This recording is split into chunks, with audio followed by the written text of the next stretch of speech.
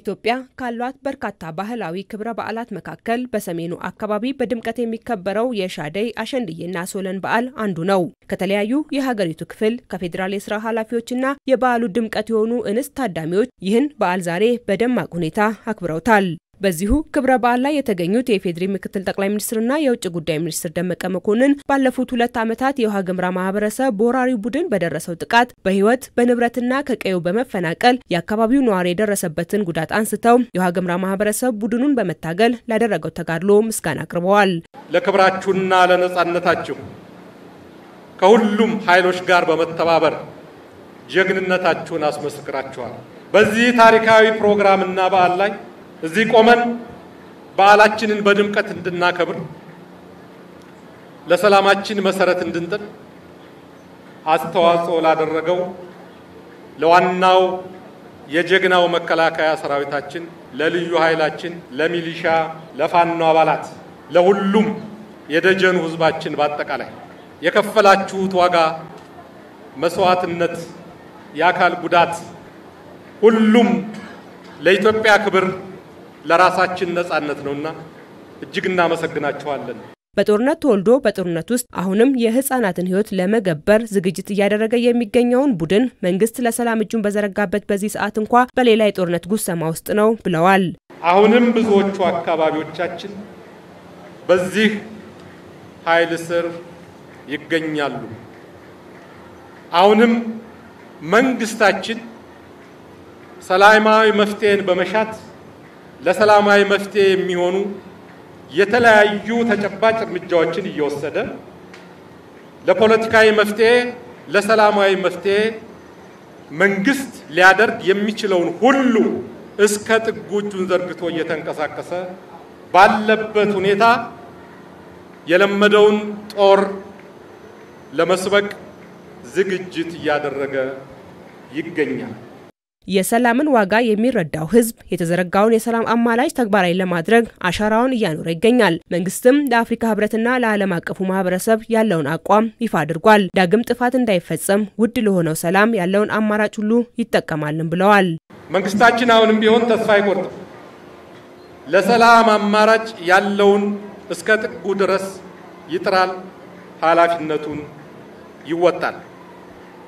ይሄን የኢትዮጵያ ህዝብ ከዳር እስከ ዳር አውቆታል።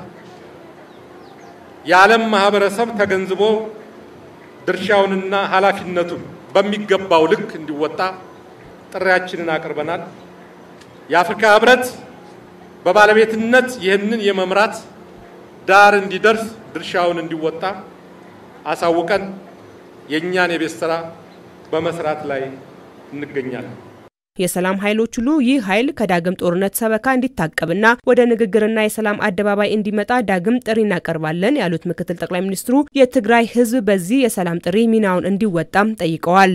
ለዚህ የትግራይ ህዝብ አቅሙ የፈቀደውን ያህል የሰላም መንገድን በመደገፍ ይህን ኃይል ይበቃሃል ብሎ አቋሙን በመግለጽና የትግሉ መንገድ የፈቀደለትን ሁሉ ለመብቱ ለህልውናው ሚናውን እንዲጫወት ጥሪያችንን እናስተላልፍለታለን።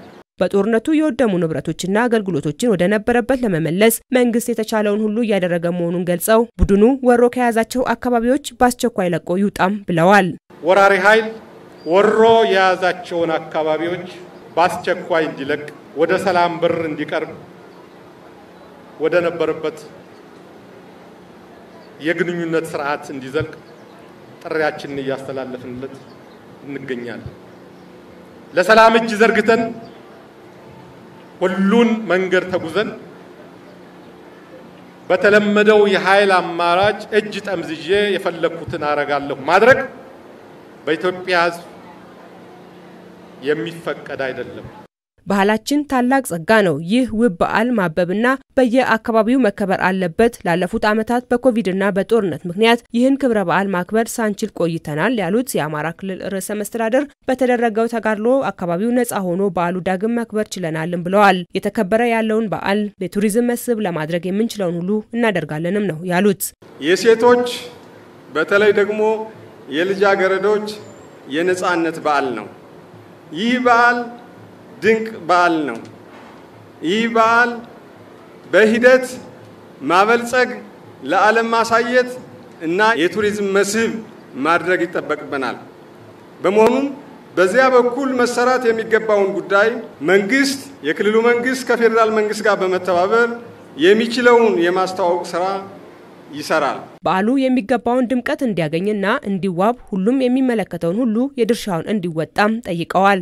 ይህን ባህላችን እንኳን ተንከባክበን አሳድገን ለራሳችን ጥቅምና ለዓለም ሕዝብ ማሳየትና ማስተማር ይገባናል። መንግስትም ይህን በትኩረት ሰጥቶ ህብረተሰቡ ያለውን ባህል ኮትኩቶ እንዲያሳድግ እና ለዓለም እንዲያሳይ በሂደትም ራሱ በቱሪዝም ተጠቃሚ እንዲሆን የሚችለውን የሚያደርግ መሆኑን በዚህ አጋጣሚ መልእክቴን ማስተላለፍ እፈልጋለሁ።